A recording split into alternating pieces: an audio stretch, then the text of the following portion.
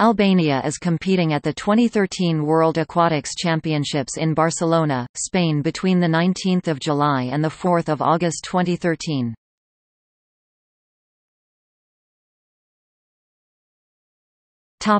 Swimming Albanian swimmers earned qualifying standards in the following events up to a maximum of two swimmers in each event at the A standard entry time, and one at the B standard. Men Women